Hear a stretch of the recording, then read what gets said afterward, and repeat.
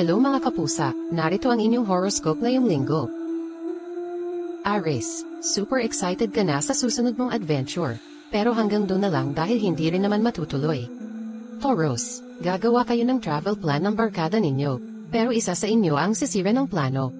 Gemini, mag-file ka na ng leave sa trabaho dahil may paparating na seat sale. Cancer, iimbitahan ka ng crush mong magpunta sa Boracay, pero sasabihin niya sa iyo na isama mo ang best friend mo dahil crush niya ito. Leo, hindi ikaw ang star sa lahat ng travel photos. Tandaan mo yan.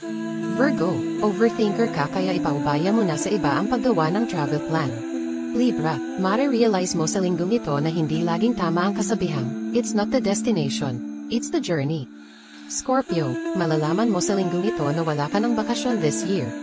Sagittarius, diyayayain mo ang friends mo mag-road trip, pero aayaw sila dahil may makakarating sa kanilang chismis tungkol sa iyo. Capricorn, mananaginip kang nagbabakasyon ka somewhere. Magkakatotoo ito, manalig ka. Aquarius, malalaman mong gumawa ng travel plan ng barkada mo nang hindi ka kasama. Pangit ka kasing kabandi. Pisces, maliligaw ka ngayong linggo, pero ito ang start of something new. Love life ba? Maybe. Tandaan, gabay lamang ang lahat ng mga ito. Nasa iyo kung paniniwalaan o dididmahin mo. Gamitin natin ang ating free will. Ems.